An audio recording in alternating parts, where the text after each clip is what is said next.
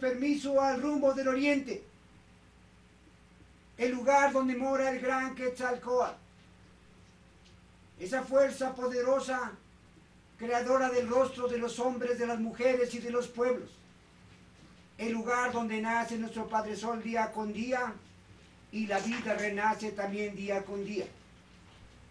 Les ofrendamos una luz, toque de huehuet, toque de caracol, sonido de sonajas y de cascabeles, agua, una ofrenda de nuestra Madre Tierra y nuestros corazones. Ser.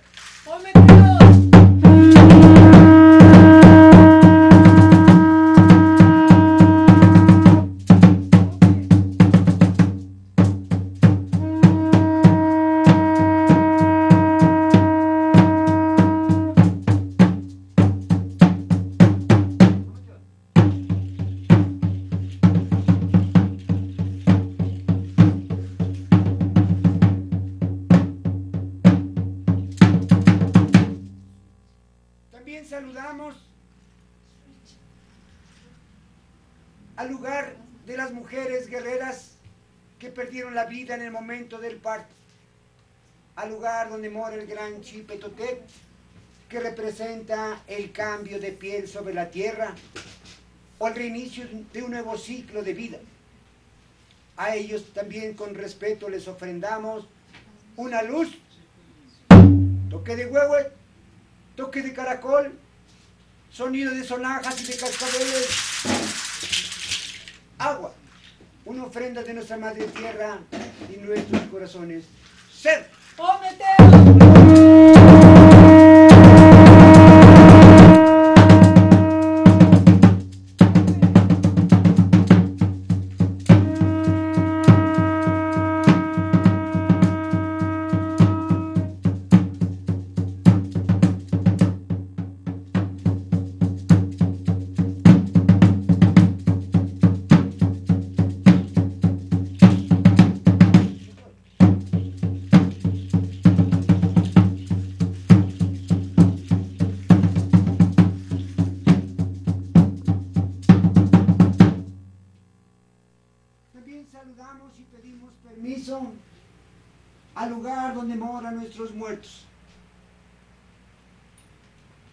donde permanece su palabra y el gran Tezcatlipoca, la fuerza creadora de sí mismo y el humear del espejo a través del cual buscamos encontrar la armonía en nuestro ser, en nuestra mente y en nuestro corazón.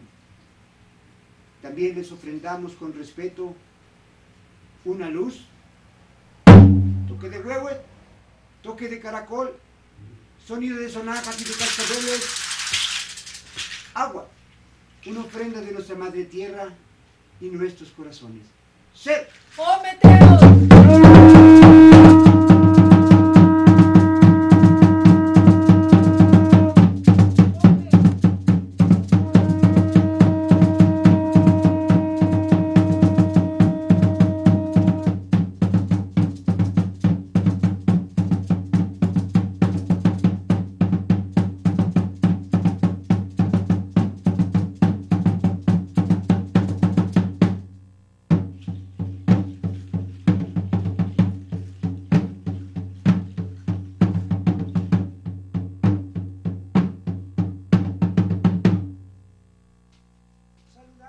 pedimos permiso al rumbo del color azul, al rumbo del camino difícil, al rumbo espinoso y pedregoso por el que transitaron nuestros abuelos.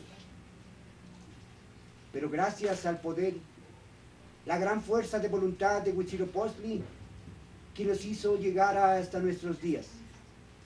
Toca a nosotros recuperar el camino.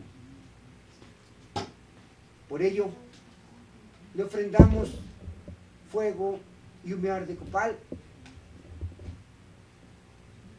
toque de huevo, toque de caracol, sonido de sonajas y de cascabeles, agua, una ofrenda de nuestra Madre Tierra y nuestros corazones. ¡Sí!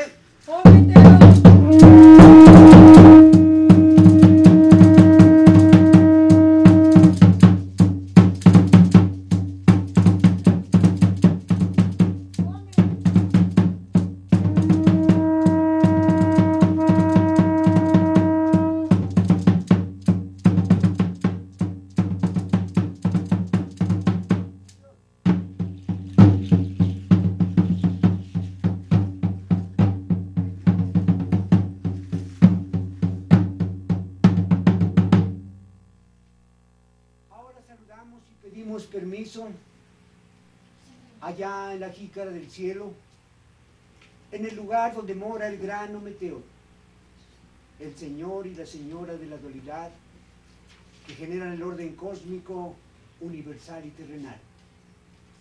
A ellos respetuosamente les ofrendamos también una luz, toque de huevo, toque de caracol, sonido de sonajas y de cascabeles, agua, una ofrenda de nuestra Madre Tierra y nuestros corazones.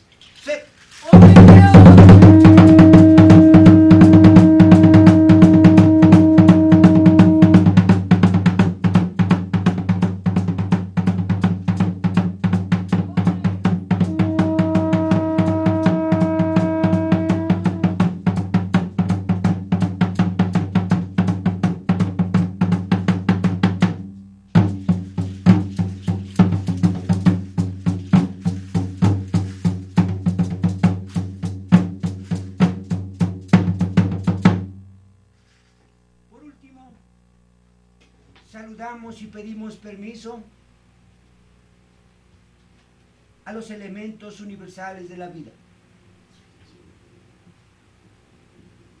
A ellos, del cual nosotros estamos formados y somos su propia esencia. Le damos las gracias a nuestra Madre Tierra, porque en su vientre, junto con el agua, con el aire y con el sol, hace que la vida florezca sobre la tierra, en su vientre. Por ello les ofrendamos hoy su propia esencia, que es una luz, toque de huevo, toque de caracol, sonido de sonajas y de cascabeles, agua, una ofrenda de nuestra Madre Tierra y nuestros corazones.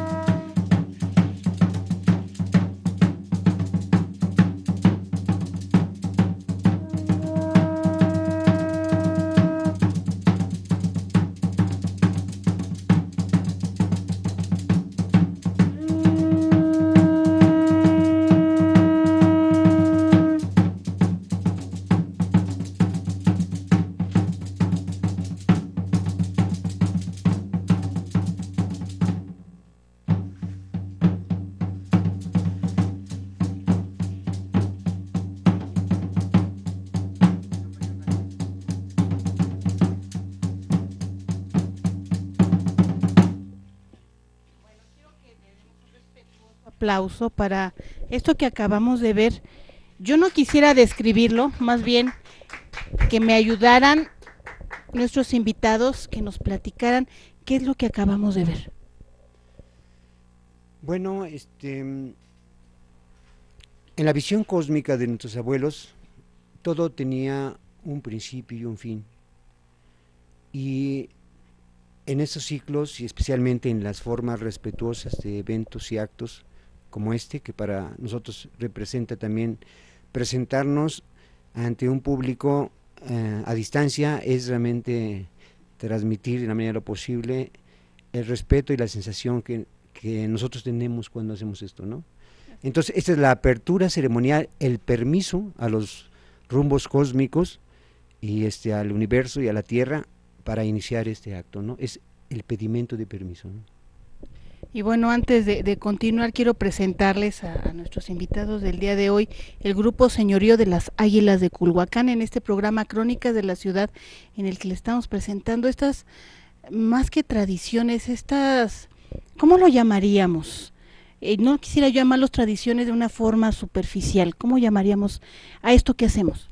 Bueno, creo que es muy importante la manera en que usted lo ve, porque todo se convierte en tradiciones a partir de que se empieza a hacer este, periódicamente, ¿no? O sea, todo se convierte en una tradición, pero esto es realmente es una herencia ancestral ceremonial, espiritual, que es realmente nosotros vamos este, eh, practicando, o sea, nosotros no traemos la herencia cotidiana o heredada de nuestros abuelos, de nuestros padres, sino que realmente nosotros hemos incursionado con la apertura de la tradición, eh, la tradición en este caso sería la tradición conchera, la que realmente eh, siguió haciendo los ceremoniales, los rituales, a pesar de la negación histórica que se vivió en el país y ellos resguardaron las formas, eh, la espiritual y, el conocimiento, ¿no?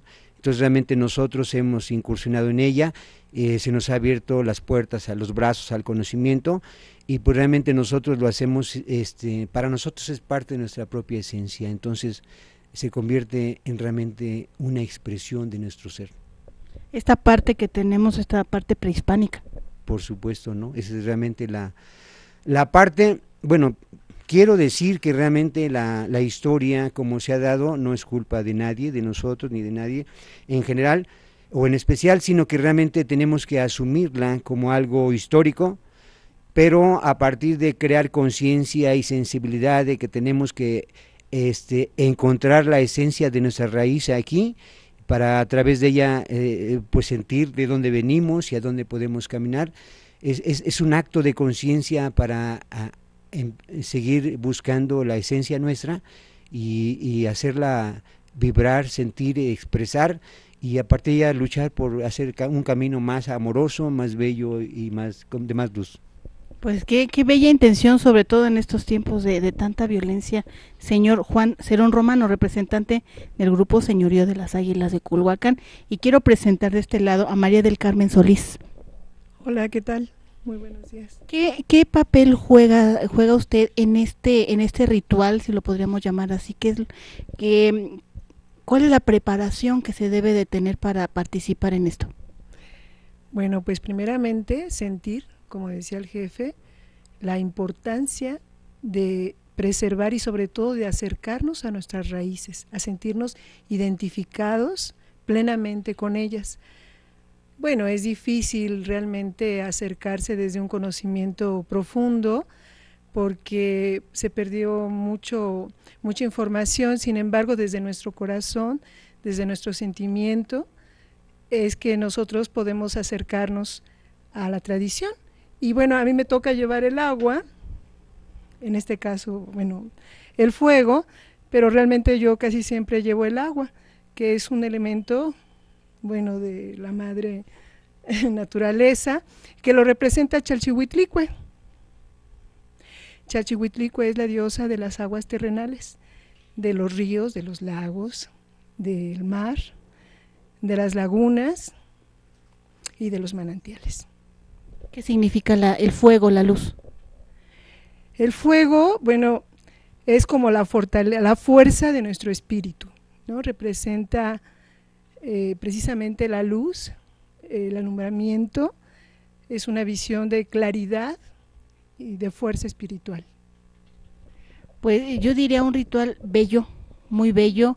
Eh, todavía esto no es, chicos, y quiero que lo entendamos de esta manera, maestros, no es un bailable, no es algo que representemos como eh, como en el 10 de mayo de repente hacemos algo sin, sin un sentido, ¿no?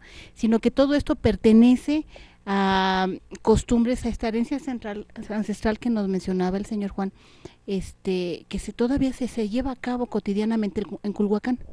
Sí, lo que yo sí quisiera es exponer que no es una cuestión, por, vamos, por el ser ritual, no tiene que ser así una solemnidad y una seriedad de la que los chavos no se sientan identificados y no, y no se sientan sobre todo atraídos, sino es una, es una fiesta también, es una fiesta interna, es una fiesta por conocer nuestra raíz y es una fiesta y un disfrutar de la danza, porque la danza, digo, en todas partes del mundo es un deleite, es un placer y además en esta danza específicamente que es una danza de armonía, de amor, y de fuerza espiritual, pues se danza con todo, ¿no? Se danza con el corazón, se danza con las piernas, con las manos, se expresa con los ojos, con la cabeza, es decir, es como integrarnos a toda la danza del cosmos, ¿no? Que es una verdadera danza de los átomos, de toda materia que existe, y en ese sentido sí me gustaría que lo vieran como el ritual, como, como una gran celebración, un gusto, un placer, un deleite. Con toda la naturaleza. Sí, así es. pues qué hermoso, déjenme pasarme por acá, voy a cruzar por la parte de atrás y este creo que se me está atorando mi cable. No ya ya salió mi cable por acá. Este vamos a presentar Edgar Edgar Lara Hernández. Qué papel juega usted en este en esta actividad que ustedes realizan bueno este el papel que juego yo es el trabajo también del, del fueguito. Eh, los diferentes grupos de danza tienen sus formas y como sus métodos donde hay que respetar mucho los elementos, los cuatro elementos en este caso que es viento, agua, fuego y tierra. Eh, yo he tenido este, eh, la, oportunidad de trabajar el fueguito y eso es lo que en este momento estamos haciendo, como también he participado a veces, en ocasiones, trabajar con la sonaja o también un poquito con el elemento agua según lo que convenga en el, en, el grupo. ¿Cómo integra estas actividades a su vida cotidiana? Bueno, para mí, eh, eh, una opinión personalmente, a mi modo de ver las cosas, yo siento que la danza, la cultura de nuestros antepasados, tenemos que retomarla. Y para mí eso es muy importante, lo llevo siempre en el corazón, en el alma, pero sobre todo lo llevo como un camino para descubrir quiénes fuimos y quiénes fuimos, y perdón, quiénes fuimos y a dónde vamos. Eh, yo creo que eso es muy, muy importante siempre, ¿no? Retomar nuestra cultura, aprender de la historia, porque hay, a mi forma de ver, hay un dolor. Y el dolor fue, pues, la conquista o la invasión de los españoles, porque a pesar de hace más de 500 años, aún todavía, gracias a nuestros abuelos, seguimos danzando. Entonces, a pesar de que en el tiempo pasado ha habido muertes, ¿verdad? Que asesinaron a nuestros abuelos, a nuestros huitlatuanis, como por ejemplo Cuauhtemoxin, eh, es muy importante rescatar eso, llevarlo en el corazón como mexicanos, que somos, como mexicas, que somos, y no olvidar, ¿no? Sobre todo, no olvidar de dónde venimos para saber a dónde vamos. Así es, pues eh, dirían por ahí alas y raíces, ¿no? Muy bien, pues vamos a pasar por acá de este lado para platicar un poquito con Salvador Jiménez García. Muchas gracias. ¿Cómo se integra usted a estas actividades? Bueno, en el caso específico del caracol o atecocoli, el atecocoli es el que sirve para abrir camino, ¿sí? ese jecat, el viento, Quetzalcoatl. Existe, ahorita se me viene a la memoria, una versión muy bonita de los cuatro elementos, agua, tierra, fuego y viento, donde se dice que el viento, es nuestro, nuestro respirar, donde se dice que el agua es nuestra sangre, la tierra, nuestro cuerpo y el fuego representa nuestro corazón. Es una versión que se tiene, pero en general me integro yo con el tecocoli. Y cuando hay necesidad de hacer cualquier otro trabajo, lo hago con mucho gusto, eh, pero esto, eso significa el atecocoli. El, el caracol, eh, bueno, es un símbolo que nosotros reconocemos mexica, como así vemos el caracol y sabemos que es un símbolo mexica me encanta el sonido del caracol, especialmente esa, ese llamado. ¿Nos podría tocar un poquito más del caracol? Sí, puedo tocar. ¿Puede? Bueno, voy a hacer un toque a los cuatro rumbos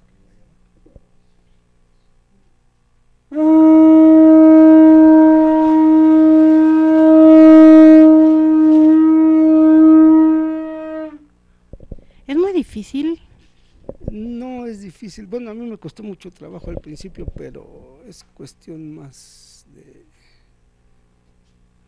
Hay un dicho que dice, dice bien, más vale maña que fuerza. Entonces es, es, cuestión de no dejar escapar el aire de aquí. ya. Bueno, pues encantador, encantador este, esta actividad, esta herencia cultural que nos platica don Juan, que quiero regresar con él de este lado.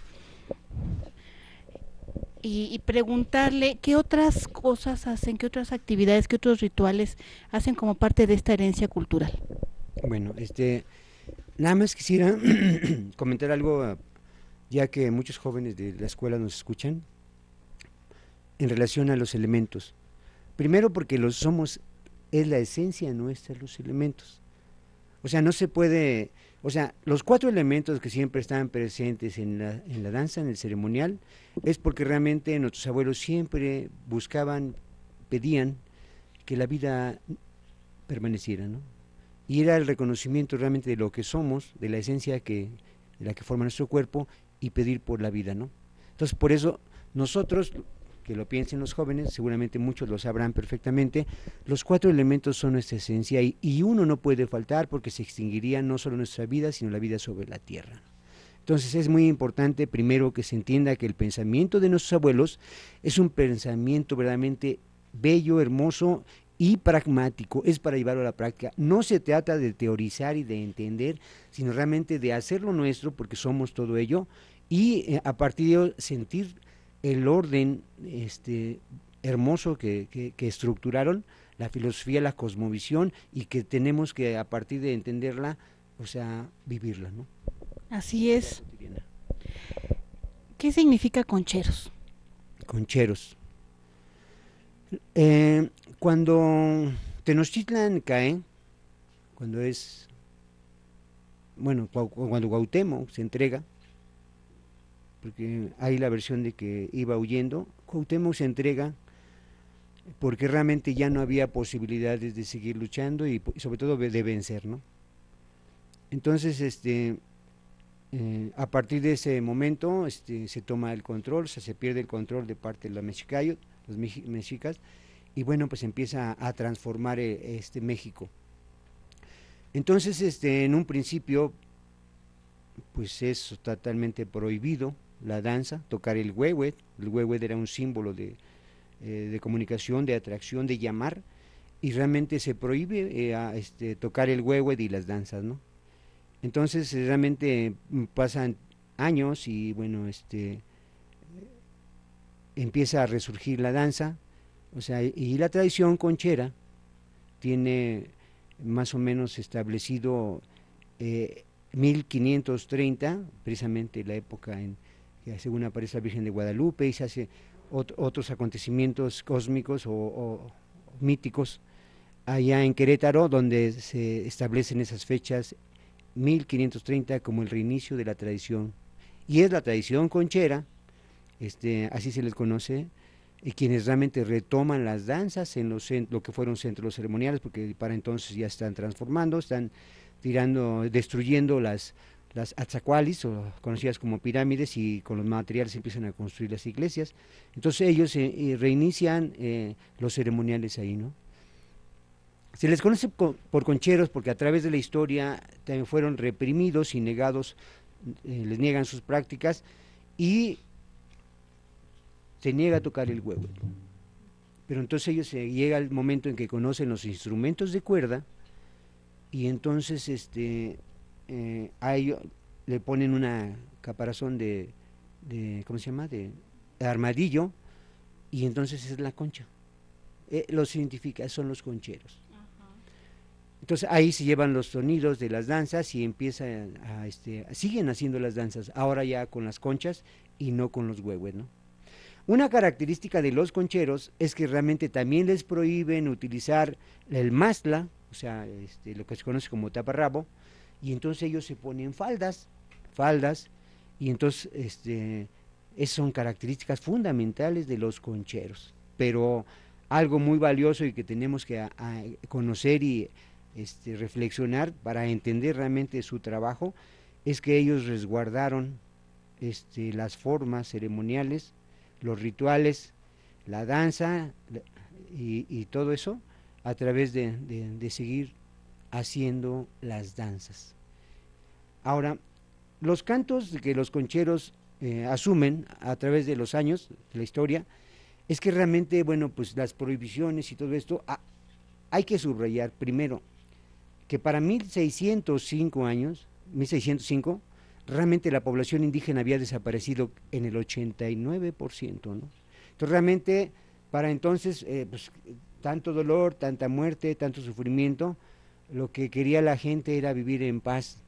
Y entonces se van asumiendo los cantos de la religión cristiana y, son cada, cada vez más tolerados este, los rituales ceremoniales porque siempre han sido así como recriminados por algunas gentes y este, no, les, no les ha gustado. Pero bueno, eso permitió que los concheros resguardaran las formas, los ceremoniales nocturnos, las danzas y bueno, todos los rituales. De acuerdo a la pregunta que usted decía, este, hay que comentar que realmente en la tradición existen ceremoniales para el nacimiento de un niño, para la siembra de nombre, para los 13 años de una señorita, los 13, años de una persona, el amarre de tilma, que es el matrimonio, el enlace, la muerte de las personas, y bueno, una infinidad de, ceremoniales, de rituales que se hacen a través de la vida de las personas, ¿no? Entonces, eh, todo eso este, se resguardó y bueno, pues este, gracias a los concheros.